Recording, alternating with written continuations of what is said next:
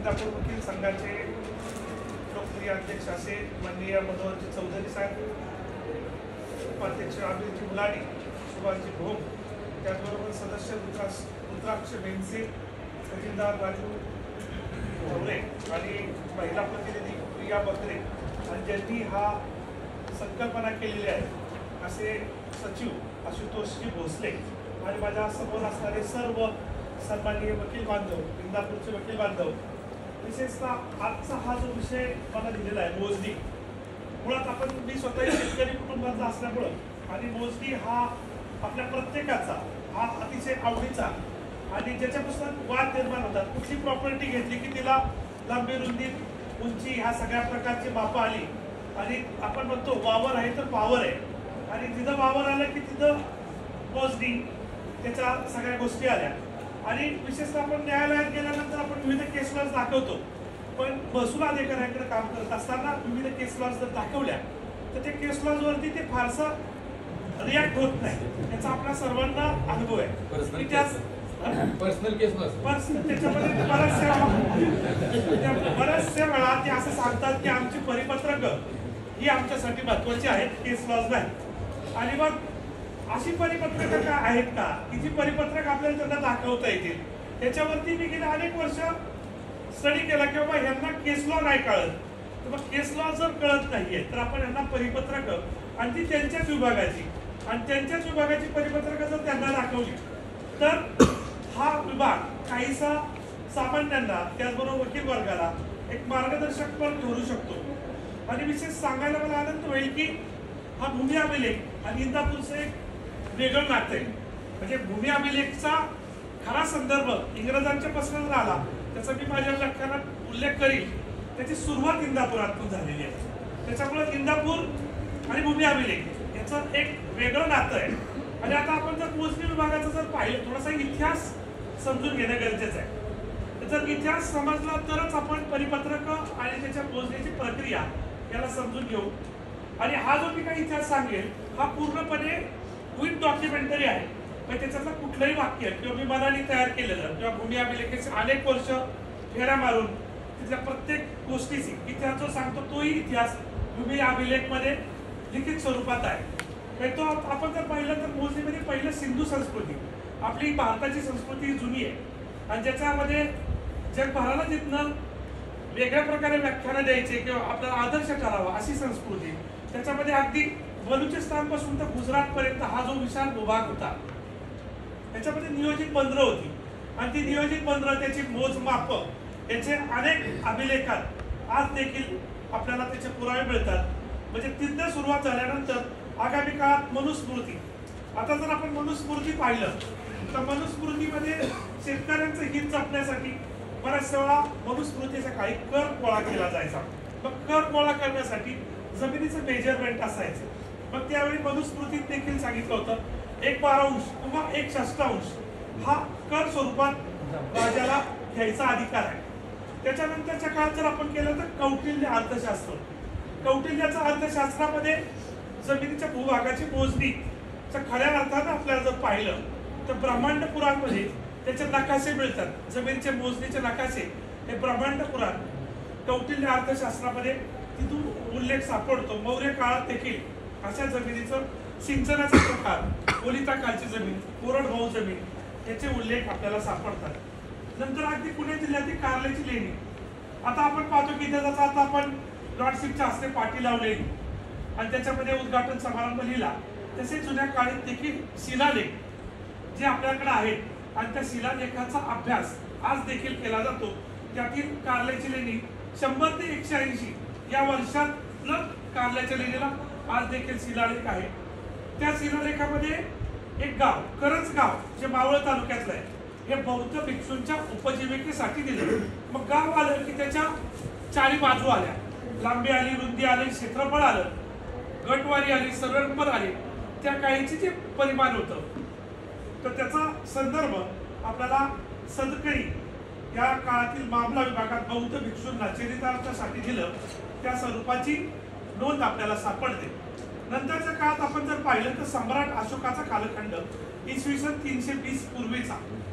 आता त्यावेळी मोजणीसाठी आत्तासारखी अद्यावत यंत्रणा टेप त्या काय आता नवीन नवीन ड्रोन वगैरे अशा स्वरूपाच्या नव्हत्या तर त्यावेळी दोरीच्या सहाय्याने मोजणी केली जायची.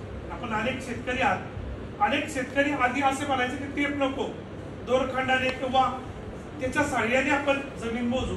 आणि त्याला रज्जू हा शब्द होता. दोरी या शब्दाला रज्जू हा शब्दाने मग रज्जू नावाचा अधिकारी हा त्या काळात सम्राटाच्या अशोकाच्या काळामध्ये ती मोजणी करायचा. आणि त्या मोजणीच्या आधारे ते रज्जू नावाच्या अधिकाऱ्यांकडनं मोजणी करून केली जायची. नंतरचा कालखंड पाहिला आपण तर दिल्लीचा बादशाह शेरेशाह सुरी हा पंधराशे चाळीस ते पंधराशे पंचेचाळीस या कालावधीमध्ये मोजणीचा खऱ्या अर्थानं मोजणीची सुरुवात झाली. त्याच्यामध्ये आधी तर मनुस्मृतीमध्ये कसेल त्याची जमीन असाच कायदा होता. पण शेरेशाहमध्ये प्रथम मालकी कर रचना आणि महसूल कसा गोळा करायचा याची माहिती त्यावेळी दिली. जमीन धारक आणि पिकांच्या नोंदी शेरेशहानी सुरुवात केल्या. जमीन धारकाचे हक्क जबाबदाऱ्या काय असाव्यात याची माहिती शेरेशहानी दिली. आणि शासन अधिकारपत्र म्हणजे एखाद्याला जमीन कसायला द्यायची? तर त्याचा देखील कसण्याचा कशा प्रकारे दिली? याची सुरुवात मोगल बादशाह बादशाह शेरेशाह सुरींनी केली. त्याच्यानंतर आपण पाहिलं तर मोगल बादशाह अकबर. अकबराचा वित्तमंत्री जो होता तो राजा तोरणमल त्या तोरणमलच्या कालामध्ये त्यांनी त्या जमिनीची जे पहिल्यांदा तोरीच्या साह्याने मोजायचं यांनी सळई आणि साखळी आपण आजही पाहतो की एकाच हजार साखळी. दहा हजार गावचा असेल तर दहा हजार साखळी. अशा पद्धतीची साखळी मोजायची परिप परिमाण आहे तो त्या काळात कोकण बादशाह अकबराच्या काळात आली. आणि त्या काळात देखील हा जो काही जमिनीचा महसूल आहे हा सरकारने एक तृतीयांश पद्धतीने गोळा करायचा. तर तो. आणि नंतरच्या काळामध्ये आपण जर पाहिलं तर महसूल आकारणी ही मराठा कालखंड म्हणजे विशेषतः छत्रपती शिवाजी महाराजांच्या कालखंडातला त्या काळात खेडे हे एकच धरायचं. जमिनीची जर मोजणी असेल त्याच्यातला जर महसूल गोळा करायचा असेल तर कुणाला किती जागा दिली? त्याचं खेडे हे एकक. आणि खेड्याच्या मधून मग त्या जमिनीचं कमालधारा पडणार. जमीन कमालधारा. म्हणजे त्या जागेची प्रतवारी काय आहे? तिथं उत्पन्न किती निघतं? त्याच्यानुसार कर गोळा केला जायचा. त्याचबरोबर छत्रपती शिवाजी महाराजांचा कालखंड पाहिला. तर सोळाशे चौऱ्याहत्तर. त्यामध्ये खेडे एकक बरोबर कमालधारा कायदा. हा आला होता.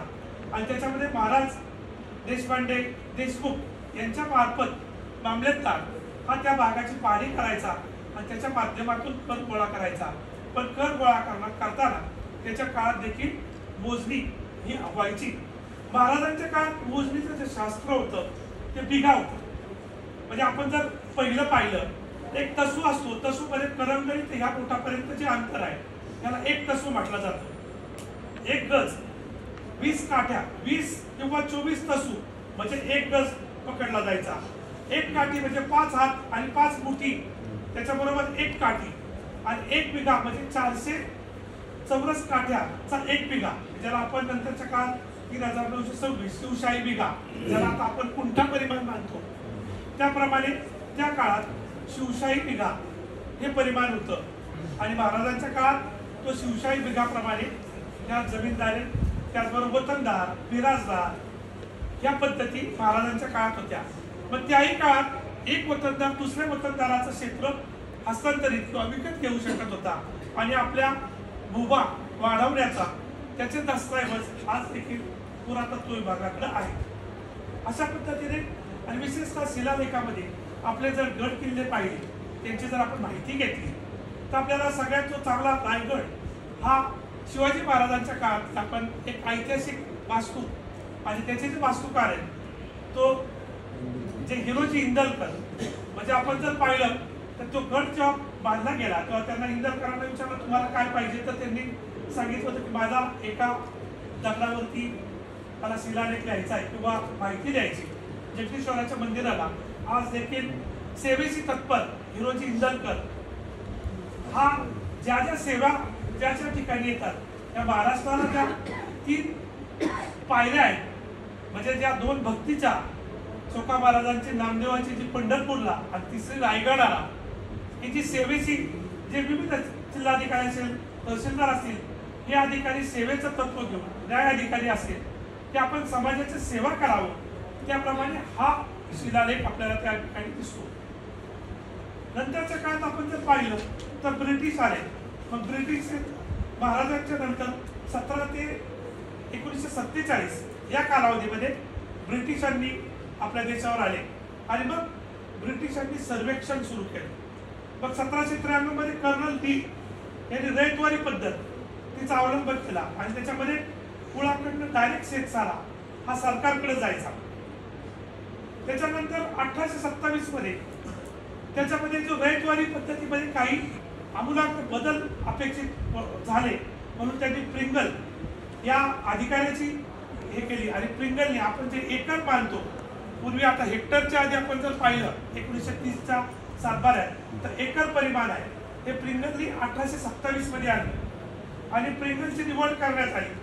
आणि प्रिंगल नंतर कुंटूर हा इंजिनियर त्या ठिकाणी जमिनीची मोजणी करण्यासाठी त्यांनी नेमला. आणि गंटूर यांनी तेहतीस बाय तेहतीस आपण जुने सगळे सिनियर मंडळी आहेत म्हणून त्याचं परिमाण पाहिलं तर तेहतीस बाय तेहतीस दहाशे एकोणनव्वद. आणि आरमध्ये आपण केलं की दहाशे शहात्तर होतं. हे गुंटूर नीट परिमाण. आणि त्याचाच आपण गुंठा अशा स्वरूपाचं हे गुंटून चेन नावाने पहिल्यांदा गुंटूरने केलं. नंतर प्रिंगलचे प्रयत्न अपुरे वाटत आहेत. मग त्या ठिकाणी अठराशे छत्तीसमध्ये पुन्हा नव्याने सर्वेक्षण करण्याचं ठरलं.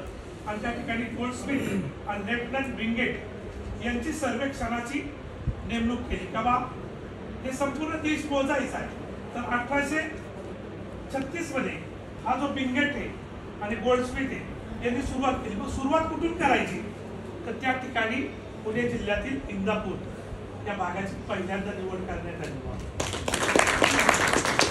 आणि आज जरी पाहिलं तर इंग्रजांचे कागदोपत्री असणारे कागद त्याच्यातली फाळणी असेल टिपण असेल गडबुक असेल याचं आणि आज अनेक गावांच्यात गेलो तर आपल्याला ते बैलाचे दगड असतील. त्या दगड आज देखील आहेत आणि तिथून परिमाण जर पाहिलं तर ते परिमाण आज देखील आपल्याला भरतं. आणि त्याची सुरुवात मात्र त्या इंदापूर तालुक्यात झाली. आणि ती अतिशय समाधानकारक पारंपरे जबाबबंदी करण्यात आली. जबाबबंदी म्हणजे त्याचे सगळे आलेख करणं. आणि ते सरकार जबाबदारी. तर याची सुरुवात इंदापूरमधनं झाली. परत अठराशे चाळीसमध्ये डेव्हिसन याने मातीची खोली आणि नैसर्गिक त्याच्या उनिवा याच्यामध्ये जमिनीचं सर्वेक्षण केलं. आणि त्याच्यामध्ये जमिनीचं मूल्यांकन रुपयाच्या परिमाणामध्ये जे आपण आणेवारीत पाहतो एक रुपया म्हणजे एकशे ब्याण्णव पै आठ आणे चार आणे दोन आणे चार पै हे जे परिमाण आहे हे पहिल्यांदा अठराशे चाळीसमध्ये रुपयामध्ये परिमाण आलं. आणि अठराशे सत्तेचाळीस मध्ये गोल्डस्मिथ लेफ्टनंट बिंगेट आणि डेव्हिन्सन यांनी एक संयुक्त अहवाल सादर केला. त्याच्यामध्ये या इंदापूर तालुक्यातील इतिहासाचा एक महत्त्वाचा दस्त मानला जातो. आणि त्या दस्तानुसार खऱ्या अर्थानं भूमी अभिलेख हा संपन्न व्हायला सुरुवात झाली. त्या ठिकाणी सर्वे नंबर आपण पाहिलं. तर सर्वे नंबर होता. तर सर्वे नंबरचं परिमाण काय असावं? तर या इंग्रज अधिकाऱ्यांनी एक बैल जोडीच्या आधारे एक व्यक्ती साधारण शेती किती करू शकतो? हा एक सर्वे नंबरचं परिमाण त्या ठिकाणी त्यांनी हे केलं. किंवा एक बैल जोडीच्या आधारे किती नांगरट होईल पेरणी होईल तो एक सर्वे नंबर नंतर लोकांच्यात वाढ झाल्यानंतर त्याच्या पाळल्या झाल्या की भावकीमध्ये तर त्याचं पहिलं सर्वेक्षण त्या ठिकाणी झालं. सर्वेक्षक आणि भूमी अभिलेख याची जर स्थापना केली तर एकोणीसाव्या शतकात ही जे सगळं आहे जे आता आपण भूमी अभिलेख पाहतो सगळीकडचा त्या भूमी अभिलेखाची स्थापना एकोणीसशे एक सालामध्ये करण्यात आली. पण त्याच्यामध्ये विविध सर्वेक्षण करण्यात आली. विशेषतः आपण जर आता मोजणीचे प्रकार पाहिले मोजणीचे कशा प्रकारे तर जुनी मंडळी आहेत त्यांनी पाहिलं असेल तो प्लेट असायचा. त्याला सेकाट्याला बांबू लावायचे त्याच्यावरती लाल कापड लावायचे. आणि फलक यंत्राच्या आधारे त्या रेगोटे आखून प्लेट टेबलच्या आधारे मोजणी केली जायची.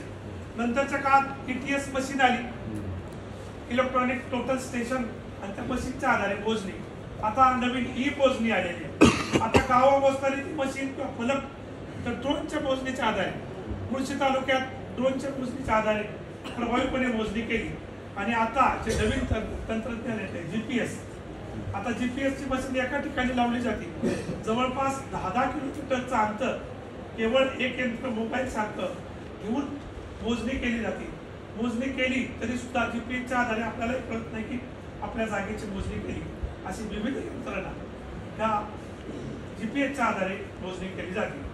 आता आपण जर विभागाची रचना पाहिली हा मोजणी विभाग त्याच्यामध्ये पहिला खाली असतो भूकरमापक त्याच्यावरती असतो तालुका लेवलला उपाधीक्षक त्याच्यावरती असतो जिल्हाधीक्षक जिल्हाधीक्षकच्या वरती असतो उपसंचालक आणि त्याच्यावरती असतो आयुक्त. ह्या यंत्रणेप्रमाणे कार्यान्वयन यामध्ये होतं. त्याच्यानंतर आपण जर मोजणीचे प्रकार जर पाहिले तर दोन प्रकारे मोजण्या केल्या जातात. एक प्रकारे मोजणीचं म्हणजे ती किती कालावधी लागेल? तर त्याच्यामध्ये साधी मोजणी असते तातडीची मोजणी असते अति तातडीची मोजणी असते आणि अति अति तातडीची मोजणी. या प्रकारच्या मोजणीचे कशा प्रकारे पैसे भरले जातात ते मी आपल्याला परिपत्रकात सांगेन. तर हे मोजणीचे साधारणतः भाग पडले जातात. साधी मोजणी तातडीची मोजणी अति तातडीची मोजणी अति अति तातडीची मोजणी. आणि दुसऱ्या प्रकारे जो असतो तर मोजणीचे प्रकार म्हणजे मोजणीचा अर्ज करताना ती मोजणी कशासाठी करायची? यासाठी जर मोजणीचं परिपत्रक पाहिलं त्याच्या सगळ्या नोट्स आहेत मी एक नोटची कॉपी अध्यक्षांकडे देतो. आणि डिजिटल स्वरूपात देखील त्याचे सगळे परिमाण त्याच्यातले हे मी आपल्याला देणार आहे.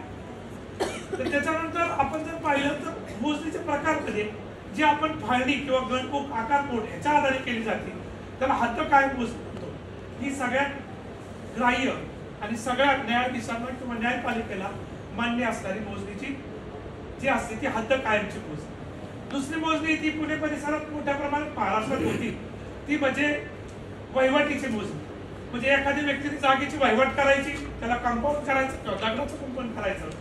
अधिकारी आणायचा आणि त्याची मोजणी करायची त्याचा शिक्का मारायचा कप्रत द्यायची पण त्याचा भूमी अभिलेखाशी संबंध नसतो. पण ह्याच्याच आधारे अनेक ठिकाणी बिल्डिंग प्लॅन एने ऑर्डर्स मिळतात. ही असती वहिवाटीची पद्धत. त्याच्यानंतर असली पोट हिस्स्याची मोजणी. दोन भाऊ आहेत तीन भाऊ आहेत. त्यांचा पटत नाहीये. मग पोट हिस्सा केला जातो. किंवा माझं क्षेत्र मला पिकलं मग त्या पोट हिस्सा केला की त्याचा इफेक्ट त्याच्या फाळणीत केला जातो. ती पोट हिस्साची मोजणी. नंतर अनेक वेळा आपल्याला वाद निर्माण होतात. अतिक्रमण झालं. किंवा रस्त्याचा वाद निर्माण होतो. कोर्टमध्ये केसेस येतात. मग कोर्ट कमिशन नेमलं जातं.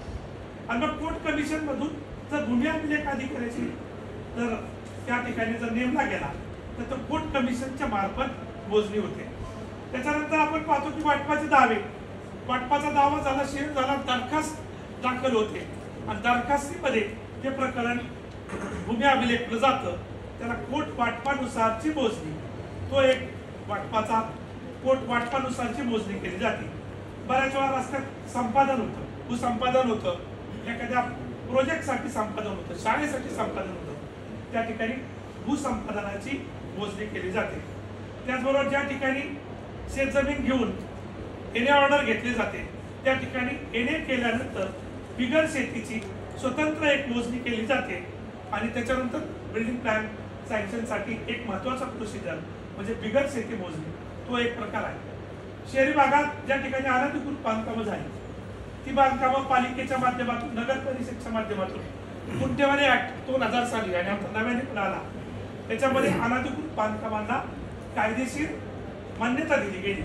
तर त्याची देखील मोजणी गुंठेवारी कायद्यान्वये सरकारकडनं भूमी अभिलेखकडनं गुंठेवारीमध्ये मोजणी होते. आणि त्याच्यानंतरचा जो एक प्रकार आहे पानंद रस्ते अनेक आपल्या ग्रामीण भागात पाहतो एक शेतकरी दुसऱ्या शेतकऱ्याला जाऊ देत नाही. पण या इंग्रजांच्या काळापासून त्या ठिकाणी गावच्या नकाशामध्ये पालन रस्ते जे बांधावरनं आठ फुटाचा साधारणपणे एक बैलगाडी ट्रॅक्टर जाईल असे रस्ते. पण ते जर रस्ते अडवले तर त्याच्यामुळे मोठा परिणाम होतो. बघ हे तहसीलदाराकडे अर्ज करून तर हे रस्ते ठेवण्याचं काम पानन रस्तेच्या मार्फत केलं जातं. तर हे पानन रस्ते हे विविध मोजणीचे प्रकार आहेत. आता मित्रांनो आपण जे पाहिलं त्या सगळ्या मोजणीच्या प्रकाराला कुठला कागदोपत्री आपल्याला जर परिपत्रकांचा आधार घ्यायचा म्हटला तर त्या ठिकाणी अनेक अधिकारी ऐकत नसतात. त्यांचा मनमानी कारभार असतो. तो मनमानी कारभार जर थोपवायचा असेल तर त्याला परिपत्रकाची जोड देणं गरजेचं आहे. तर ती परिपत्रकाची जोड आपण त्याच्या मार्फत परिपत्रकांच्या मार्फत देतो. पहिला आपण जातो अर्ज करायला. कुठलाही मोजणी प्रकरण घ्यायचं म्हटलं की आपल्याला एका जागा घ्यायची. तर सरकारी मोजणी तर त्या संदर्भातलं तेरा बारा दोन हजार अकरा जे आपले चंद्रकांत दळवी होते त्यांनी हे परिपत्रक काढलंय. हे जमाबंदी आयुक्त संचालक. तर मोजणी अर्ज स्वीकारताना कोणती कोणती कागदपत्र जोडली गेली पाहिजे त्या स्वरूपाचं हे परिपत्रक आहे. तर आपण पहिल्यांदा गेलो. तर पहिला तालुका अधीक्षक आहे टाळण्याच्यासाठी सांगतात फाळणी आणा कटबुक आणा आकार कोड आणा फाळणी उपलब्ध नाही आणि अर्जच स्वीकारत नाही. ही अशी परिस्थिती आपल्याला पाहायला मिळते. मग या ठिकाणी सांगितलं गेलं या परिपत्रकानुसार की आणण्याची जबाबदारी आपली नाही. आपण केवळ अर्ज करायचा. या परिपत्रकामध्ये स्पष्ट म्हटलं काय कागदपत्र जोडायची? सात बारा त्याच्यानंतर चार बाजूचे चार जे शेतकरी त्यांची नावं.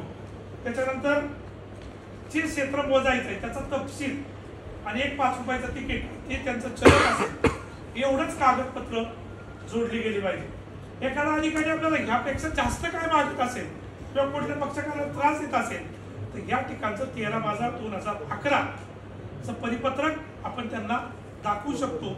आणि त्या परिपत्रकाच्या आधारे आपण आणि अनेक गोष्टींच्या हे परिपत्रक अतिशय महत्वाचं आहे. आणि मग ह्या परिपत्रकानुसार मोजणीचा अर्ज पहिला स्वीकारण्याची प्रोसेस काही न करता बाकीचे कागद कारण ते रेकॉर्ड ठेवणं ते वापरणं ही त्यांची जबाबदारी आहे. या परिपत्रकामध्ये स्पष्टप्रमाणे नमूद केलेलं आहे. तर आता आपण पाहिलं दुसरं की मी मग अशी मोजणीचे प्रकार सांगितले. साधी मोजणी तातडीची मोजणी अति तातडीची मोजणी ह्या तर साधारण याचा दर कसा असावा? या स्वरूपाचं सहा दोन हजार दहाच जमाबंदी आयुक्त महाराष्ट्र राज्याचा असतो त्याचा परिपत्रक आहे साधारण साधी मोजणीला एक रफली त्या त्या कॅल्क्युलेशनचे दोन हजार दहाच आहे. थोडाफार बदल होतो पण एक हजार रुपये साधारण मोजणीचा दर असेल तर तातडीला दोन हजार अति तातडीला तीन हजार. म्हणजे त्याचे टप्पे जे असतात हजार दोन हजार तीन हजार याप्रमाणे हे टप्पे असतात. त्याच्यानंतर अति अति तातडीची मोजणी असेल. साधी तातडीची अति तातडीची. अति अति तातडीची जर असेल तर त्याच्यामध्ये चार पट दर जो साध्या गोष्टी आहे त्याचा चार पट दर असावा. आणि मग चलन करताना अनेक वेळा म्हणतात त्याचं दरपत्रक कसं घ्यायचं ते आम्हाला माहीत नाही. वेड्याचं सोंग तिथला अधिकारी घेतो आणि मग ते आम्हाला विचारावं लागेल त्याच्यात वेळ काढतो. त्या ठिकाणी दरवारी कशी असावी? तर त्या स्वरूपात. पोट हिस्स्याची मोजणी असेल पोट हिस्स्याचं पण परिपत्रक मी पुढे जाऊन आपल्याला दाखवतो. अनेक वेळा पोट हिस्स्याचा एखादा भाऊ भावाला सही देत नसेल पोट हिस्सा करता येतो का? तर करता येतो.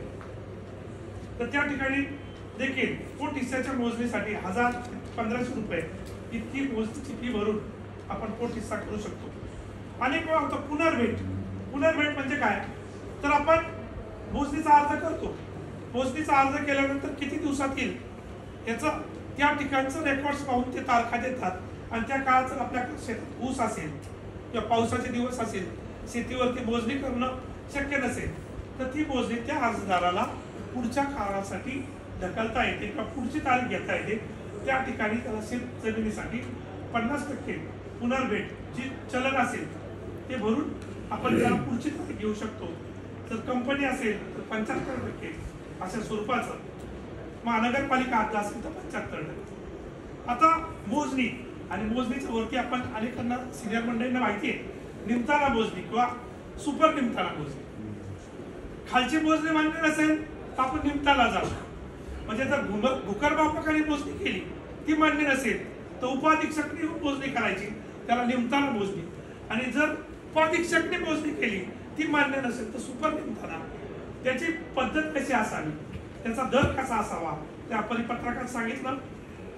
भूकरबापकाने केली आणि जर ती मोजणी मान्य नसेल तर आपण जर त्याचं उपाधीक्षक मागणी केली तर मोजणीदाराच्या तीन पट दर त्यांनी त्या ठिकाणी चार्ज करायचा आणि निमतानाला जायचं. आणि जर अधीक्षकने केली आणि आपल्या जिल्हा अधीक्षककडे जायचं असेल तर त्याच्यात पाच पट जो मोजणीचा दर आहे. त्याच्या पाच पट ही भरून आपण ती मोजणी मागू शकतो. अनेक वेळा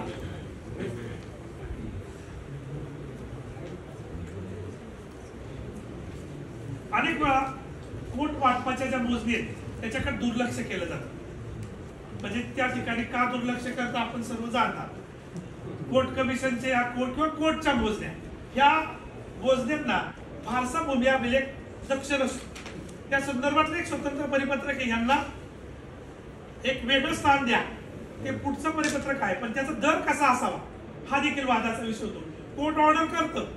पण ते लोक मोजणीच नाही करत.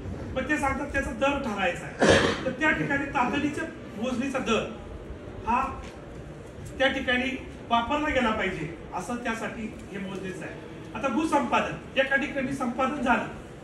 तर भूसंपादनाचा पण मी पुढे एक स्वतंत्र मोजणीत काय काय भूसंपादनात असावं? त्या स्वरूपाचं स्वतंत्र परिपत्रक आहे. पण त्याचा दर ही मोजणीच्या तातडीच्या फीचा दर आकारला जावा. या प्रकारचं या सकाळ साधारण चार्ट दहा दोन दोन हजार दहा पासून दिलेला आहे. आता पुढचं आहे की आपण ग्रामीण भागात सगळे काम करतो. अनेक वेळा अधिकाऱ्यांनी ऐकलं नाही तर लोक न्यायपालिकेकडे येत नाही. ते कुणाकडे जातात राजकीय पुढाऱ्याकडे जातात. तिथला आमदार असेल खासदार असेल. कारण तो आमदार खासदार या संदर्भातलं हे परिपत्रक आहे. हे परिपत्रक आहे चौदा चार त्र्याण्णव आठ आठ आठचं. हे परिपत्रक आहे उपसंचालक तुम्ही अभिलेख किंवा गावात वहिवटीच्या किंवा एखाद्या रस्त्याच्या ह्याच्यावर वाद झाला. किंवा या अधिकारी सौजन्याने बोलत नाही ही सगळ्यांचं आपल्याला अडचण आहे. मी अनेक परिपत्रक दुय्यम निबंधकाच्या बाबतीत पण काढले. दुय्यम निबंधकाने तर लोकांना बोलावं कसं याचं परिपत्रक काढलं. हे खऱ्या अर्थाने महाराष्ट्राचं दुर्दैव म्हणावं लागेल. की त्यांना फोनवरती नमस्कार मी अमुक अमुक दुय्यम निबंधक बोलतोय असं स्पेसिफिक परिपत्रक आहे. तरी देखील ते बोलत नाही ते पण परिपत्रक आहे. ते आता कुठल्या एखाद्या दुय्यम निबंधकाला फोन केला साहेब तुम्ही असं बोलायचं असतं. फोन म्हणजे हिथून सुरुवात. तर ह्याही परिपत्रकात त्यांनी सांगितलं की सर्वसामान्य जनतेला सौजन्याची वागणूक मिळत नाही. सौजन्य या शब्दात देखील अनेक परिपत्रक आहेत. सौजन्य काय? हे सांगायची गरज या अधिकाऱ्यांना येते आपल्याला. सौजन्याने वागणूक नाही.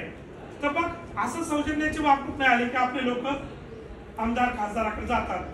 आणि त्याच्यामध्ये त्यांनी एखाद्या शिफारशीचं पत्र देतो. पण ते पत्र दिलं तरी काही अधिकारी जाणीवपूर्वक त्याच्याकडे दुर्लक्ष करतात. मग या परिपत्रकात सांगितलं किंवा एखाद्या लोकप्रतिनिधीने जर असं काही शिफारस पत्र केलं असेल तर त्याचं योग्य ती दखल घ्यावी. जर दखल घेतली नाही तर संबंधित अधिकाऱ्यांवरती शिस्त पालन महाराष्ट्र नागरिक सेवा शिस्त पालन एकोणीशे एकोणऐंशी अन्वये कारवाई होऊ शकते. त्याच्या पुढचं जे परिपत्रक आहे एकोणतीस मार्च दोन हजार नऊ आपण अनेक वेळा पाहतो मोजणी अर्ज केला. काही ठराविक वर्गाला ठराविक माणसांना तो जो क्रम असतो तो सोडून दिलं जातं. म्हणजे मी चार महिन्याआधी अर्ज केलाय आणि एखादा माणूस आत्ता केला लगेच त्याच्या आठ दिवसात मोजणी येते. तर असा ठिकाणी हे परिपत्रक आहे.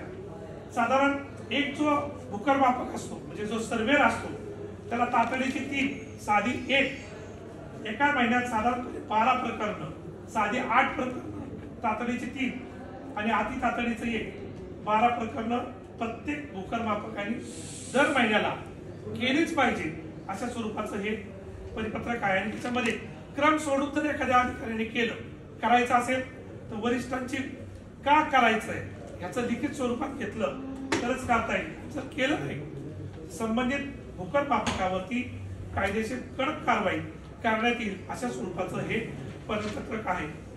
अनेक वेळा आपण पाहतो की काम करत असताना नकला काढायला गेलो. आपल्या कोर्टात दाखल करायच्या फाळणी गडबो आकारपोट. हे अधिकारी सापडत नाही. वेळ नाही. त्याला किती कालावधी असावा? याच्यासाठी नागरिकांची सनद ही जमाबंदी आयुक्तांनी दिलेली आहे. त्यामुळे साधारण मिळकत पत्रिका. त्यासाठी त्यांनी कालावधी दिला एक दिवस. नकाशा जबाब स्कीम फाळणी याच्यासाठी तीन दिवस. आणि मी सांगितलं मोजणीच आता मगाशी. तर त्यांनी हा कालावधी दिलाय. अति अति तातडीची जी असेल नागरी विभागाला शहरी भागात दहा दिवसात अति तातडीची दोन महिन्यामध्ये मोजणी आली पाहिजे. तातडीची तीन महिने आणि साधारण साधी मोजणी सहा महिन्याच्या आत मोजणी झाली पाहिजे हे परिपत्रक त्या ठिकाणी आहे. त्याच्यानंतर मोजणीची प्रक्रिया ही एकशे छत्तीस एम एल आर सी खाली चालते आणि त्याच्यातील फेरफारच्या नोंदी एम एल आर सी एकशे सत्तेचाळीस ते एकशे एकोणसाठ त्याप्रमाणे चालतात. आणि अपिलाची प्रकरणं दोनशे शेहेचाळीस ते दोनशे एकोणसाठ याच याच्यामध्ये दिलेले आहेत परिपत्रकात. नक्कल प्रकरण सोळा कलम तीनशे सत्तावीसनुसार आपल्याला नक्कल पुरवण्याची जबाबदारी या अधिकाऱ्यांची आहे. विशेषतः आपण आता तालुक्यात काम करत असताना शहरी भागात रोज तक्रारी होतात. पण तालुक्यातलं रेकॉर्ड्स नीट ठेवायचं अद्यावत ठेवायचं याची जबाबदारी कुणाची? तिथला जो अधीक्षक असतो भूमी अधीक्षक त्याची आहे. तर त्या स्वरूपाचं चौथा सात दोन हजार पाचचं माननीय जबाबंदी आयुक्त यांचं हे परिपत्रक आहे. हे काय सांगतात?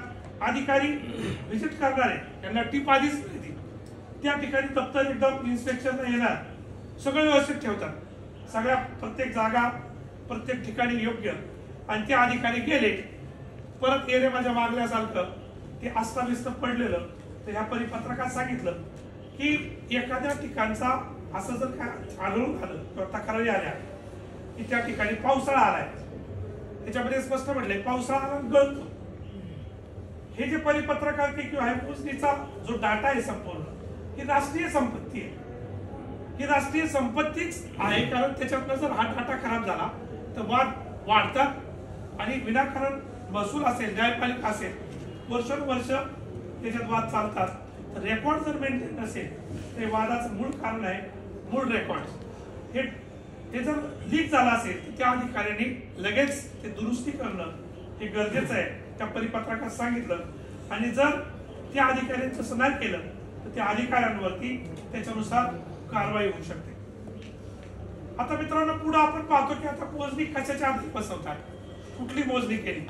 तर त्याला काहीतरी बेस असतो.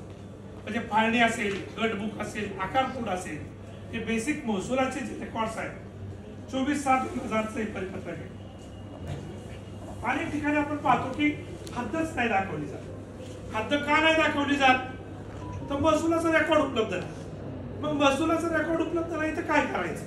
तर त्या संदर्भातलं चोवीस सात हजारचं हे परिपत्रक जमाबंद आयुक्ताचं आहे. पण ते सांगतात की टिप्पण फाळणी ह्या जर नसतील तर काय करावं? त्याच्यातलं अ प आणि क अशा तीन प्रकारच्या मोजणीच्या करताना क प्रती असते ती आपल्याला दिली जाते. अ आणि प प्रती ह्या महसूल अधिकाऱ्याकडं त्यांच्याकडे असतात आणि क प्रतीची सर्टिफाईड देण्यात येते. मग एखाद्या ठिकाणचं जर फाळणी नसेल तर आधी कुठल्या कुठल्या मोजण्या झाल्या? त्या मोजणींची अ आणि ब पत्रक. समजा पाच मोजण्या आहेत. चारचे आहेत तर एक ठिकाणचं मोजणी त्या तस्ताच्या आधारे करायची. आणि त्याच्या आधारे फाळणी करा. समजा ते शक्य नसेल तर तलाट्याकडं जुन्या काळी फाळण्या दिलेल्या होत्या. किंवा त्या ठिकाणचा कामगार पाटील असतो. जो मूळ गावचा कामगार पाटील जुनं महसुलाचं रेकॉर्ड कामगार पाटलाकडे असायचं.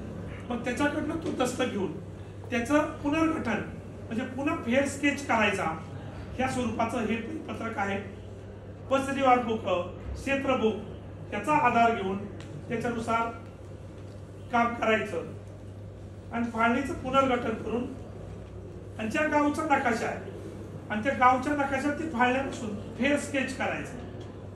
काही गावाच्या सर्व नंबरचे गावच्या नकाशामध्ये पूर्ण क्षेत्र बसवलेलं असतं. एखादा एखाद्या गटाचं नसेल तर ती फाळणी त्याच्यात स्केच करून त्या गावच्या नकाशात बसून क्षेत्र बसून फेर स्केच करायचं आणि ते रेकॉर्ड अद्यावत ठेवायचं. त्याचबरोबर भूसंपादन झाले असेल.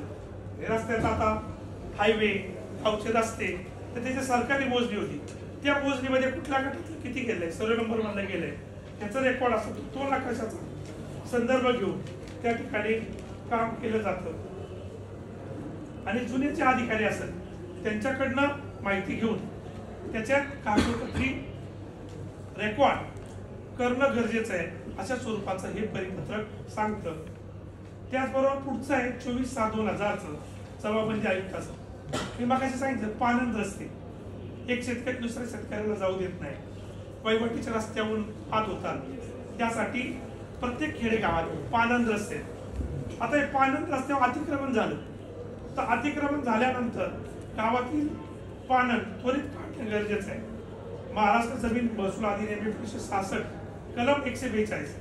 त्याचबरोबर एकोणीसशे सहासष्टमध्ये नियम पालननुसार रस्ता ठेवण्याची जबाबदारी त्या त्या भागातली आहे पण ती जर जबाबदारी असेल जिल्हा परिषद पंचायत समिती ग्रामपंचायत याच्याकडे सर अर्ज करून विशेषतः त्या भागातील तहसीलदारांनी असा जर अर्ज- अर्ज भूमी अधीक्षकडे केला हे पानंद रस्ते कुठे आहे त्याचं रेकॉर्डच्या आधारे ती मोजणी केली जाते आणि त्वरित अतिक्रमण काढलं जातं. या स्वरूपाचं हे परिपत्रक आहे. पुढचं जे परिपत्रक आहे अकरा दहा पंच्याऐंशीचं हे आपल्या कोर्ट कामाच्यासाठी महत्वाचं परिपत्रक आहे. या परिपत्रकानुसार कोर्ट कमिशन मोजणीत मोजणीला प्राधान्य दिलं जात नाही. तर ह्या परिपत्रकानुसार अठरा अकरा चौऱ्याऐंशी ज्या याला कोर्ट कमिशनच्या कामाला देखील प्राधान्य किती द्यायचं? ते तातडीच्या मोजणीला देतो आपण. त्या तातडीच्या मोजणीला जे प्राधान्य द्यायचं ते कोर्ट कमिशनच्या मोजणीला द्यायचं या स्वरूपाचं अठ्ठावीस अकरा चौऱ्याऐंशी हे परिपत्रक आहे. या परिपत्रकानुसार आपण तातडीने त्या ती मोजणी करू शकतो. आता एक एक दोन हजारचं जे परिपत्रक आहे हद्द कायम करताना अनेक तक्रारी येतात. हद्दीच दाखवल्या जात नाही ही बेसिक अडचण आहे. मग त्या हद्दी दाखवल्या तर चुकीचं दाखवतात. एक महसूल अधिकारी एक हद्द दाखवतो दुसरा आले दुसरा दाखवतो. तर काय करायचं? या स्वरूपाचं पण अनेक वेळा होतं की फी भरली तरी मोजणी येत नाही. असं त्याच्यातच दिलंय मोजणी झाली पण हल्लीच्या पुन्हा दाखवल्या नाही. त्याचबरोबर मोजणी होऊन बराच कालावधी झाला. का परतच दिली नाही. त्याला काय कालावधी आहे? मोजणीच्या वेळी लगतच्या कब्जे धारकांना नोटिसा दिल्या नाही. किंवा चुकीच्या नोटिसा दिल्या. राहतो इंदापूरला दाखवलं सोलापूरला. तर ते पत्र येतं. त्यांच्यावरती त्या मूळ बालकाला कळत नाही. अशा ठिकाणी काय प्रोसिजर आहे? अतिक्रमणच दाखवलं नाही. तर आपल्याला अतिक्रमणाचा दावा करायचा आहे. किती शेतात अतिक्रमण केलंय हे दाखवलं नाही. ह्या अनेक तक्रारी येतात. मग या तक्रारींमध्ये त्यांनी सांगितलं अति तातडीची मोजणी ही एका महिन्यात त्यांनी त्याचा निपटारा केला पाहिजे. तातडीची मोजणी तीन महिने जास्तीत जास्त आणि साधी मोजणी सहा महिन्याच्या आत त्याचं प्रकरण हे कप्रत देऊन किंवा त्याच्यावरती यथोचित ऑर्डर करून झाले पाहिजे. विशेषतः तक्रारीत एक सांगितलं गेलं की लगतच्या माणसाला जर नोटीस दिल्या नाही तर त्याच्यामध्ये साहेबराव रामा यादव वर्सेस सर्जेराव रामा यादव याच्यामध्ये ही केस आहे. ही केस पण मी देतो. याच्यामध्ये रुल्स सोळा. याच्यामध्ये नोटीस टू ऑल कन्सर्न पार्टीजला शेजारच्या माणसाला जर नोटीसच दिली नसेल ती मोजणी ग्राह्य धरता येणार नाही. त्या स्वरूपाचं एक जजमेंट ते देखील आहे. आणि त्याचाच परिपत्रकांमध्ये बऱ्याच ठिकाणी परिपत्रक म्हटलंय. पण न्यायपालिकेत आलो की या ठिकाणी हे मागितलं जातं. तर त्या ठिकाणी या परिपत्रकाचा या केसवरचा आपण आधार घेऊ शकतो. लगतच्या माणसांना जर नोटीसाठी देणं गरजेचं आहे. त्या दिला नाही. तर या केसवरच्या आधारे आपण सांगू शकतो की आम्हाला नोटीस आली नाही. त्याचं कोच आहे का? त्या ठिकाणी आपण जाऊन पाहून आपल्याला हा स्टँड घेऊ शकतो.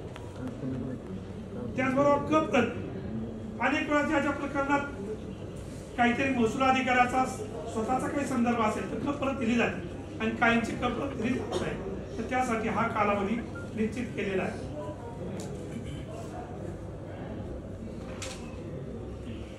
आता दोन भूकरमापकाने वेगवेगळ्या जर हद्दी दाखवल्या तर काय करायचं? एकाने हद्द दाखवली दुसरा आला तर दुसरी सरळ नंबर चार दाखवतो. तर दुसऱ्याच्या ही लक्षात येईल पहिली चुकीची आहे. त्याने त्या ठिकाणी उपाधीक्षक त्या दोन्ही मोजण्या दाख पाहायच्या डायरेक्टली दुसरी चुकीची आता दाखवायची नाही. तर त्या दोन नातींचा वेळ बसवायचा आणि नंतर ती दाखवायची. अशा स्वरूपाचं परिपत्रकांमध्ये आहे. त्याचबरोबर इतर हक्कात कुळाचं नाव असतं. मग मोजणी केली जात नाही. तर तसं ह्या परिपत्रकात असं म्हटलंय. की अर्ज स्वीकारताना त्याही व्यक्तीला नोटीस काढा. कारण ते काय मालकी हक्क ठरवत नाही. मोजणी म्हणजे फक्त ते जागेवरचं क्षेत्र ते ठरवतं. केवळ इतर अधिकारात एखाद्याचं नाव आहे म्हणून मोजणी अर्ज नाकारता येणार नाही. त्या प्र- प्रकारचं हे परिपत्रक त्या ठिकाणी सांगते. आता सतरा एक दोन हजारचं एक परिपत्रक आहे जबाबंदी आयुक्ताचं. शासकीय कामकाजात पारदर्शकता आणण्याबाबत. सगळे कायदे हे सर्वसामान्यांपर्यंत गेले पाहिजे या स्वरूपाचं हे परिपत्रक आहे. तर ही सगळी जी माहिती आहे ही परिपत्रक आहे हे प्रत्येक कार्यालयात लोकांना दिसेल अशा पद्धतीने लावणं त्याच्यामध्ये क्रम प्राप्त आहे. कागदपत्र जोडणे आवश्यक आहे. मोजणीला काय कागदपत्र जोडायची? कुठला अर्ज किती दिवसात नंतर मिळेल? हे स्वरूपाची किती चलनाची रक्कम असावी? हे प्रत्येक कार्यालयात दिसेल अशा पद्धतीने लावणं गरजेचं आहे. त्याचबरोबर विविध कामांसाठी अर्जाचा नमुना काय असावा? मोजणीच्या अर्जाचा नमुना काय असावा? नकलेच्या अर्जाचा काय असावा? त्या स्वरूपाची मोजणीचा अर्ज नक्कल ही नोटीस बोर्डवर लावायचं हे त्याच्यात बंधन केलेलं आहे. त्याचबरोबर एक माहितगार माणूस जो का काही अडचणी घेऊन आल्या शंका आल्या तर त्याला यथोचित मार्गदर्शन करायचं जेणेकरून आलेल्या माणसाचा वेळ वाया जाणार नाही अशा स्वरूपाचं त्या ठिकाणी सांगितलेलं आहे. त्याचबरोबर कोणत्याही महिन्याची क प्रत पाच तारखेच्या आत प्रकरण निपटारा झाली पाहिजे. समकाशी सांगितलं त्याचा महिन्याचा कुठला दिवस? तर पाच तारीख ही ती महसुलामध्ये एक नेमलेली तारीख आहे. अति तातडीला एक महिना असेल तर पाच तारखेच्या म्हणजे पाचचा महिना तो तो धरला जातो. हा निरीक्षक असेल त्याने आठवड्यातून कमीत कमी एकदा तर सोमवारी जनतेला भेट दिली पाहिजे. त्यांच्या समस्यांची निराकरण केलं पाहिजे. तर त्याच ठिकाणी आणि तालुका निरीक्षक जर त्या ठिकाणी गैरहजर असेल तर सहाय्यक तालुका निरीक्षकाची त्या ठिकाणी नेमणूक केली पाहिजे. त्या स्वरूपाचं हे परिपत्रक आहे. आता मोजणीची प्रकरण निकाली काढण्याबाबत. एकवीस मार्च चौऱ्याऐंशीच अनेक वेळा पेंडिंग असतं. प्रकरण पेंडिंग ठेवायची दुसरी घ्यायची. काहींना कपरत द्यायची काहींना द्यायची नाही हा आपल्याला सगळ्यांना अनुभव येतो. तर या संदर्भातलं एकवीस पाच चौऱ्याऐंशीच हे परिपत्रक आहे सभाबंदी आयुक्त संचालक. तर याच्यामध्ये या परिपत्रकामध्ये निकाल मोजणीची कामे अवघड सुनी मोजणी बाजूला ठेवून त्याच्यात सोपं सोपं आहे हे काम केलं जातं. तर त्या ठिकाणी पुन्हा एकदा त्याला वेळ दिला. सहा महिन्याच्या पुढं कुठलंही प्रकरण प्रलंबित ठेवू नये. त्याचबरोबर याच्यामध्ये कोर्ट कंडिशन वाटप कामे प्राधान्याने दिली जावे या स्पष्टपणे उल्लेख या परिपत्रकामध्ये कोर्ट कमिशनच्या मोजण्या आल्या. तर त्याला प्राधान्य क्रमांक देण्यात यावा. हे पेंडिंग ठेवू नये. त्याचबरोबर सहा महिन्याच्या वर शिल्लक असल्यास संबंधित अधिकारी जो असेल त्याच्या कारवाई करता यावी. या स्वरूपाचं हे परिपत्रक आहे. अनेक वेळा पोट हिस्सा त्याच्या संदर्भातलं एकोणतीस जानेवारी दोन हजार दोन पोट हिस्सा मोजणी कार्यवाही पोट हिस्सा बिल मोजणीची वसुली या स्वरूपात हे मोजणीचं परिपत्रक आहे. याच्यामध्ये सांगितलं गेलं की एखाद्या भावाला एखाद्या पोट हिस्स्याची मोजणी करायची असेल तर तो एकटाही देखील अर्ज करून पोट हिस्स्याची मोजणी मागू शकतो. ज्या काय हरकती आहेत ज्या काय सुनावण्या आहेत जागेवरचं सगळं क्षेत्र भरतंय का? हे करून पोट हिस्सा त्याला स्वतंत्रपणे करून देऊन आणि पोट हिस्सा झाला तर आपण सातबारा देखील स्वतंत्र सातबारा या पोट हिस्सा मोजणीच्या आधारे करतो. हे सभापती आयुक्ताचं परिपत्रक आहे. आता त्याचबरोबर सोळा नोव्हेंबर एकोणीशे अठ्ठ्याण्णवचं परिपत्रक आहे. मोजणी टाकायच्यामध्ये मापे घालून मोजणी टाकायच्या पुरवण्याबाबत अनेक वेळा काय होतं ते स्केल असतं. एक सेंटीमीटरला एक मीटरचं अंतर. आणि ते अंतर थोडं फार पट्टी तिकडं तिकडं झालं तर अतिक्रमण दिसून येतं किंवा एक अधिकारी दुसरा अधिकाऱ्यात परिमाणात बदल होतो साखळीच्या मध्ये. किंवा सामान्यांना ते परिमाण कळत नाही. तर त्या ठिकाणी जी जी मोजणी केली जाते ती करतात घेताना त्याच्यात माप घालून मोजणी द्यावी. तर या स्वरूपाचं हे परिपत्रक आहे. त्याचबरोबर अनेक वेळा आपण पाहतो. हे सरकारी अधिकारी प्रायव्हेट मोजण्या करतात. आपण पाहतो की हा अधिकारी तिथे आणि तो तिथे येऊन जागेवर सरकारी अधिकारी खासगी मोजण्या करतो. आणि नंतरच्या काळात त्याला शिक्का मारला जातो. आणि सामान्यांची फसवणूक होते. तर त्यासाठी दहा सहा एकोणीसशे चौऱ्याण्णवचं परिपत्रक आहे. त्यात त्यांनी सांगितलं की शासकीय कर्मचाऱ्याने खासगी मोजणी करायची नाही. तो सरकारी अधिकारी आहे. भूकरमापक आहे कसल्याही परिस्थितीत महाराष्ट्र नागरिक सेवा एकोणीसशे एकोणऐंशी नियम व सहा अन्वय शासकीय कर्मचाऱ्याने सचोटी कर्तव्य. तसेच खासगी व्यापार किंवा नोकरी वगैरे न करण्याबाबत सूचना आहेत आणि एखाद्याने जर केलं तर कलम आठ प्रमाणे त्याच्यावरती कारवाई करण्यात येते. या स्वरूपाचं म्हणजे कुठलाही खासगी मोजणी सरकारी मोजणीने खासगी मोजणी करायची नाही. असा जर केला तर त्याचा फोटोग्राफ घेऊन आपण त्याच्या तक्रारी करून त्या अधिकाऱ्यांवरती वचक बसू शकतो. ही मोजणी मधल्या काळात पण ही मोजणी आता आजही देखील पाच नऊ दोन हजार बारा. आता ही फायलिंग जसं आले तसं दोन हजार बारा पासून बरेचसे अर्ज अनेक ठिकाण आपल्याला ई पद्धतीने दाखल होतात. त्या स्वरूपाचं हे ई मोजणीचं कार्यपद्धती त्याच्यामध्ये दिलेली आहे.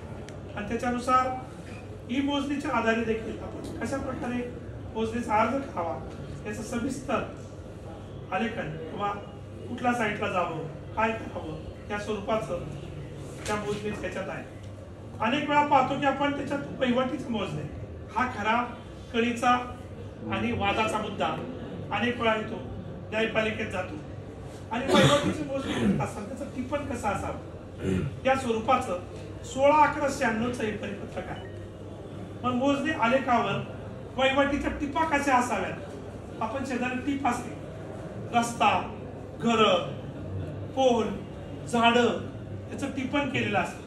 पण हे टिपण करताना महाराष्ट्राचा मी महसूल अधिनियम एकोणीसशे सहासष्ट कायदा कलम एकोणीसशे एकशे छत्तीसनुसार त्याच्यात आता टिपण दाखवले असं डॉट डॉट करून वहिवाट असं काय करतो आपण त्या ठिकाणी लिहिलं याप्रमाणे वहिवाट असे आता याप्रमाणे वहिवाट असे म्हणजे तो इनडायरेक्टली ते मार्किंगच करून टाकतो की हे बरोबर आहे कायदेशीर आहे. तसं न लिहिता यावेळी अर्जदाराने दाखवलेली वहिवाट असेल. असा शब्द असणं गरजेचं आहे.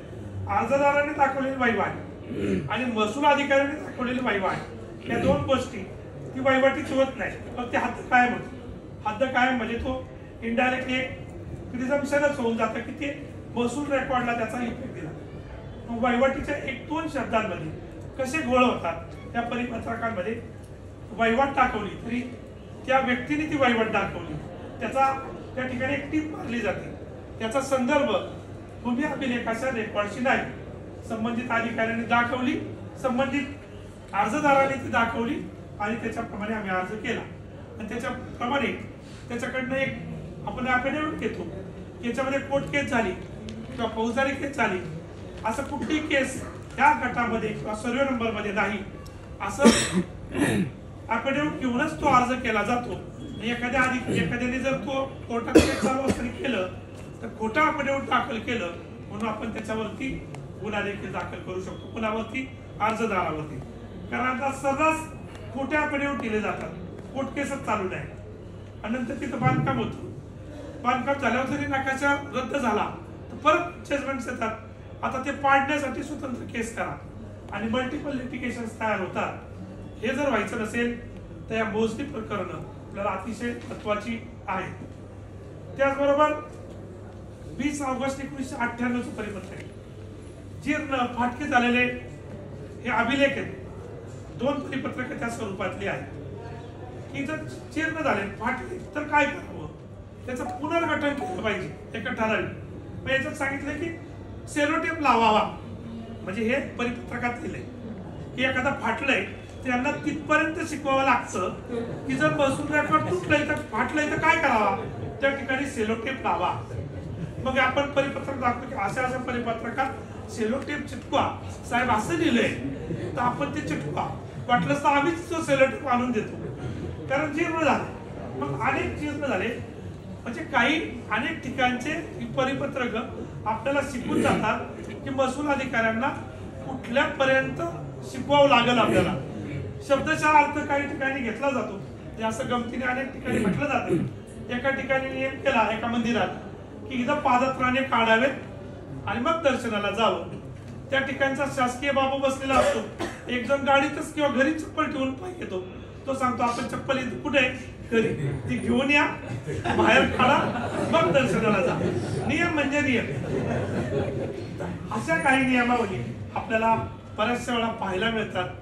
आणि मग ह्या अधिकाऱ्यांना टिपणं आता त्याच्यामध्ये एक केलंय की मूळ टिपणं प्लास्टिक पिशवीत ठेवून कायमस्वरूपी पुस्तक फायनल करून घ्यावी. म्हणजे पुस्तक भिजून आहे. यासाठी परिपत्रकातच म्हटलंय. मूळ टिपणे प्लास्टिकच्या पिशवीत ठेवून कायम स्वरूपी पुस्तक बाइंडिंग करून घ्या. म्हणजे ह्या स्वरूपाच्या छोट्या छोट्या गोष्टी देखील त्यांना जबाबदारी ऐकतो. तो सगळं सांगत असतो. पण ते सर्वसामान्य माणसांपर्यंत आपल्या वकील बांधवांपर्यंत ही परिपत्रक येत नाही की लपवली जातात. एवढं वेबसाईट आहे. तुम्ही या वेबसाईटला ही परिपत्रक तुम्हाला कुठेच दिसणार नाही. त्यांची आहेत बरं. तर गेल्या अनेक दिवसातनं आपले लॉर्डशिप संजयजी देशमुख साहेब मी याच्या अगोदर सबरेजिस्ट्रार अनेक ठिकाणी आपल्या वकील बांधवांना त्रास व्हायचा. त्यांना अपमानास्पद वागणूक मिळायची. त्या स्वरूपात त्यांनी वकिलांची सामान्य जनतेशी कसं वागावं याची परिपत्रक काढली. त्याच्या ठिकाणी मी ती लोकांना दिली आणि त्याच्यावर मग एक दिवस आला की साहेब मी म्हटलं त्याच्या व्यतिरिक्त मोजणीवर बोलू का? आणि देशमुख साहेबांच्या उपस्थितीत मी एकदा बोललो तेव्हा अशी अशी परिपत्रक आहे जे आपले हायकोर्ट्स आहेत.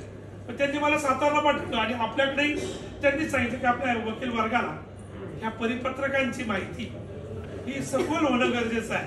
आणि त्या परिपत्रकांचा प्रचार आणि प्रसार होऊन झाला पाहिजे. ते जीर्ण झालेली फाटकी पुनर्लेखन झालेली.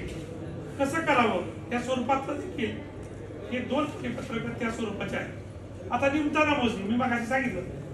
निमताना मोजणी म्हणजे जे खालचं प्रकरण मान्य असेल तर वरिष्ठाकडे करायचं म्हणजे भूकरमापकाचा असेल सर्वेअर तो उपाधीक्षकडं उपाधीक्षकचं जिल्हाधीक्षकडं त्याचा चार सात दोन हजार एकचं परि परिपत्रक आहे. निमताना मोजणी करायची कार्यवाही काय असतात तर निमताना मोजणी करण्यासाठी पहिले दोन काय तो जो मोजणी राखायचा चुकीचा आहे तो त्या अधिकाऱ्यांनी तिथं जाऊन घेऊन त्याच्या हद्दीचं पुन्हा चेकिंग करायचे. ते जुळतायत का? ते पाहिजे आणि मग त्याच्यावर एक कारण पहिला मोजणीचा कशा रद्द करावा लागेल ना. मग तो रद्द कसा करायचा? ऑफिसमध्ये बसून नाही. तर जागेवर जाऊ मग त्याच्यात त्यांनी म्हटलं की मग तो कायम खुणा. आधार घ्यायचा. तसा स्वतंत्ररित्या शेरा मारून मूळ सेटवर ठेवण्यात यावा.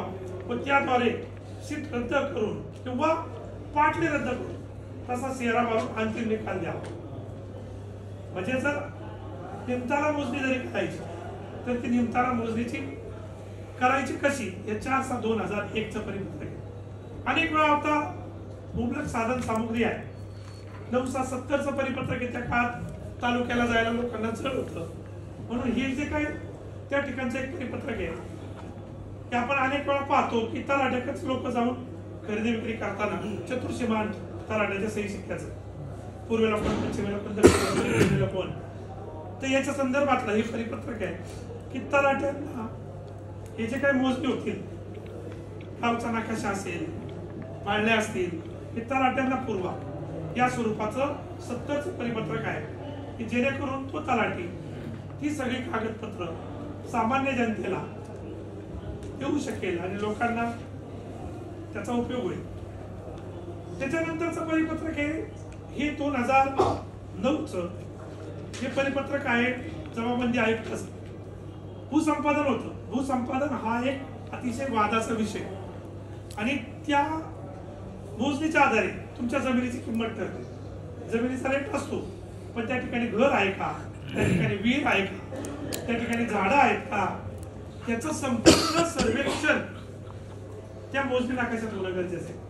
मग आता झाड या कोणाला आहे आंब्याचं झाड लावलं की त्याला पन्नास हजार रुपये मिळणार आहेत. मग जर रोपं लावली तर ते पन्नास हजार मिळतील का? या पत्रकात सांगितलं. झाडं घरं विहिरी त्याचे मोजमाप घ्यावी. नुसती घ्यायची नाही. तर फळझाडे वन झाडे प्रकार त्याचा अंदाजे आयुर्मान किती आहे? याचा विचार करून मूल्यांकन करायचं असतं ते मोजणीच्या नाकाशात आलं पाहिजे. विहीर ती अंदाजे किती वर्ष जुनी आहे? तिचं बांधकाम पक्क्या स्वरूपाचं आहे पण नुसतं कच्चं आहे? त्याच्यानंतर त्याची खोल खोदाई किती आहे? सिंचनासाठी पाणी पुरवठा कसा होतोय? याचा सगळा उल्लेख की निरुपयोगी आहे उपयोगी आहे याचा संदर्भ आला पाहिजे. बांधकाम आहे. ते निवासी किती आहे? वाणिज्य किती आहे? औद्योगिक किती आहे? कुठल्या प्रयोजनासाठी केलेलं आहे? याचा यथोचित संपूर्ण माहिती त्या मोज आकाशाच्या टिपांमध्ये आली पाहिजे. जेणेकरून जमिनीचा बाजारभाव सरकार दप्तरी त्या अर्जदाराला किंवा शेतकऱ्याला मिळणं सोयीचं होईल या स्वरूपाचं हे परिपत्रक आहे. त्याचबरोबर सतरा अकरा दोन हजारचं हे जे परिपत्रक आहे हे कोर्ट कमिशन पोचणी प्रकरणात अनुस्वरायचे कार्यवाहीबाबतचं परिपत्रक आहे. कोर्ट कमिशन नेमलं तर त्याची कार्यवाही कशी व्हावी? यासाठी स्वतंत्र परिपत्रक हे काढलं गेलं. यामध्ये वादी प्रतिवादी संबंधित आणि पंधरा दिवसाच्या मुदतीचे रजिस्टर नोटीस आणि कळवावं वादी असेल तर त्यांनी प्रतिवादीला कमीत कमी पंधरा दिवसांनी रजिस्टर पोस्ट आणि तारीख करावी समक्ष कोर्टाने दिलेल्या आदेशाप्रमाणे मोजणीचे काम करावे. त्या अधीक्षकाने स्वतःचं डोकं चालू नये. कोर्टाची ऑर्डर काय आहे ती पाहावी आणि कोर्टाच्या आदेशाप्रमाणे जाब जाबावे पंचनामे याचा सविस्तर उल्लेख सोबत निशाणी नंबर हुकुमनाम्याप्रमाणे मोजणी नकाशा तयार झाला. याची खात्री करून कोर्ट कमिशनची मोजणी नकाशासह अहवाल कोर्टाकडे सादर करावा.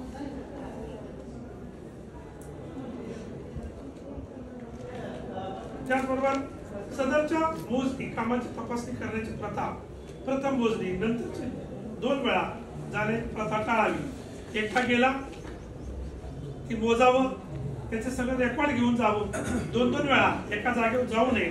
त्याचबरोबर कोर्ट कमिशन प्रत्यक्षात फक्त कोर्ट कमिशन नेमताना म्हणून न्यायालयात आदेश पारित झाले असले नेमताना मोजणी करणार तालुका निरीक्षक रेकॉर्डच्या आधारे त्याचा अहवाल तयार करावा.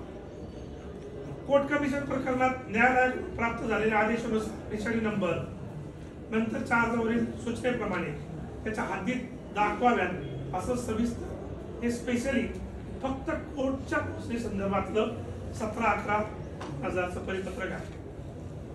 अपील प्रकरणात कसं असावं?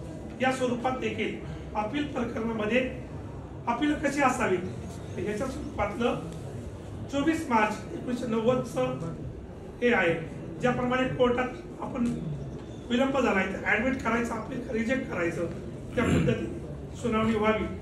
आणि अपिलामध्ये इतर प्रकरणात साठ दिवस आणि उपसंचालक नव्वद दिवसाचा अपिलाचा पिरियड आहे. मित्रांनो एक सांगू इच्छितो की अनेक वेळा आपण पाहतो की आणेवारी. तर आणेवारी ही आणेवारी मी ज्युडिशिप काळात असताना एक न्यायाधीश मोदयांनी एका सिनियरला प्रश्न विचारला साहेब मला आणेवारी सांगा. आमच्या बऱ्याच वेळा सिनियर काही सांगत नसतात पण न्यायालयाला सांगणार म्हटले की सगळा चार्ट बीट करून एक आला म्हणजे सोळा आणे म्हणजे एक रुपया. एक आणा म्हणजे बारा पैसे. एकशे ब्याण्णव पैसे म्हणून चार्ट बीट तयार केला. संबंधित न्यायाधीश साहेबांकडे गेले. न्यायाधीश साहेबांनी सांगितलं हा चार्ट माझ्याकडे आहे. मला हे सगळं माहिती आहे पण ही प्रोव्हिजन कुठं आहे? हे मला दाखवा. आता ती प्रोव्हिजन दाखवा म्हटलं संबंधित महोदय आपले बांधून गेलेच नाही परत त्या कोर्टात. कारण ते म्हटले मला माहिती आहे पण ते कुठे आहे ते म्हटले मला दाखवा. ते तुम्ही एखाद्या पुस्तकाचा रेफरन्स नको शासकीय कागदपत्रांचा आधार केला मी त्याच्यावर देखील अनेक दिवस पाहणी केली की हे कुठं मिळतंय. तर मोडी प्रशिक्षण वर्गाचं महाराष्ट्र सरकारचं पुस्तक आहे. जे की सरकार मान्य त्याच्यामध्ये हे परिमाण आहे. त्याचबरोबर आणखी एक जॉर्डनचं मॅन्युअल. जॉर्डनचं मॅन्युअल आहे. त्याच्यामध्ये आणेवारी ही आपल्याला दिलेली आहे की जी कोर्ट कामात एखाद्या ठिकाणी जर एखाद्या न्यायाधीश त्यांनी विचारलं की ते मला आणेवारी पाहिजे. कसं आहे तुम्ही तुम्ही सांगता कुठे हे गरज ग्राह्य धरायचं का? तर जॉर्डनचं एकोणीसशे बारा सालचं एक मॅन्युअल त्याच्यात एक मॅन्युअलचं एक स्वतंत्र पुस्तिका आहे. ती पुस्तिकामध्ये देखील ते स्वतंत्र स्वतंत्रपणे कुणाला आणखी टिप्पणी जर स्टडी करायचं असेल तर त्या स्वरूपाचं असं दाखवतो. हे मॅन्युअल आहे. याच्यामध्ये ही संपूर्ण आणेवारी वीस ते पंचवीस पानांच्या सविस्तर आहे. जुन्या काळात पुसण्या कशा असायच्या? त्याची परिमाणं काय असावी? ह्या मॅन्युअलमध्ये आपण तो रेफरन्स देऊ शकतो. वहिवटीच्या मोजणी संदर्भातले परिपत्रक आहे सोळा पाच दोन हजार एक ते उपसंचालकाचं की वहिवटीच्या मोजण्या ह्या बेकायदेशीर करू नये अद्याप चालू आहे. त्याचबरोबर वहिवाटीच्या मोजणी संदर्भातलं उपसंचालकाचं दोन हजार नऊचं परिपत्रक आहे. त्यात देखील त्या गोष्टी प्रामुख्याने दिलेल्या आहेत. पण आज देखील वायवटीच्या मोजण्या मोठ्या प्रमाणावर चालू आहेत. त्याच्यानुसार अनेक गोष्टी केल्या जातात. त्यांचीच परिपत्रक आहेत पण याचं कुठंतरी आपल्या वकील बांधवांनी त्याच्यावर संघर्ष करू किंवा ते वरिष्ठांच्या निदर्शनास आणू त्याच्यानंतर खऱ्या अर्थानं न्याय मिळेल असं मला वाटतं. मी सगळी परिपत्रक अनेक दिवस गोळा केली होती. मी सगळ्या परिपत्रकाची काही महत्वाची परिपत्रक या ठिकाणी आपण निषेध केली. तर एक पुस्तक बघू बाकी त्यातील एक परिपत्रकाचा सेट बस. एक सेट हा सेट याच्यामध्ये ही सगळी परिपत्रक ही सगळी माहिती त्या ठिकाणी आहे. मी अध्यक्षांकडे सपूर्द करतो. त्याचबरोबर डिजिटल स्वरूपात देखील ही परिपत्रक आहे मी सचिवांकडे तो डिजिटल स्वरूपातला सेट थोड्या सेट करतो. प्रत्येकाच्या मोबाईलला तो सेट डिजिटल. मला वाटतं की माझ्या परीने मी त्या विषयाला मला अध्यक्षांनी सचिवांनी जी जबाबदारी दिली होती मी आपल्याला लेक्चर द्यायला नाही आलो एक संवाद साधण्याचा प्रयत्न माझ्या पद्धतीने मी केलेला आहे. आणि जर तुम्हाला काही शंका असेल मला माहिती सव्वा तीन झालेत. न्यायाधीश मंडळी या ठिकाणी बसलेली आहेत. बराचसा वेळ आपण बसले आपल्या सर्वांच्या प्रती मी कृतज्ञता व्यक्त करतो. थांबतो धन्यवाद. हुकप्रत जर दिली तर त्याच्यामध्ये एक्झॅक्ट एन्क्रोचमेंट दाखवत नाहीत ही मोजणी हो. आणि त्यांना आपण सांगायला ते म्हणतात आमच्याकडे सर्क्युलर आहे की तुमचं तुम्ही कॅल्क्युलेट करा आम्ही काय ते